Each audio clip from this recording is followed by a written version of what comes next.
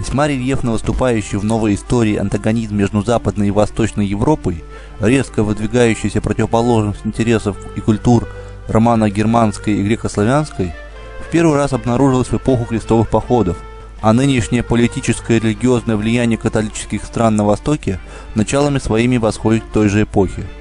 Религиозно-национальная вражда к мусульманству, одушевлявшая первых крестоносцев и поддерживавшая их перенесении громадных лишений и потерь, скоро уступила место другим побуждениям, которые, однако, оказались нисколько не слабее первых и продолжали увлекать на восток новые и новые западные ополчения.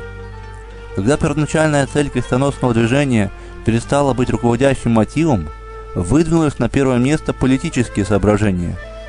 не об Иерусалиме и не об освобождении гроба Господня из рук неверных стали помышлять вожди крестоносцев,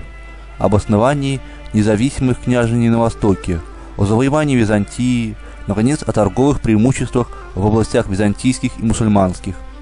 Таким образом, с точки зрения восточноевропейской истории,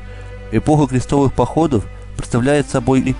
любопытнейший эпизод борьбы между Западом и Востоком, борьбы, которая еще не окончилась и поныне, и продолжается на наших глазах, соединив разнообразные интересы, как религиозные, так и политические и торговые, в так называемом «восточном вопросе».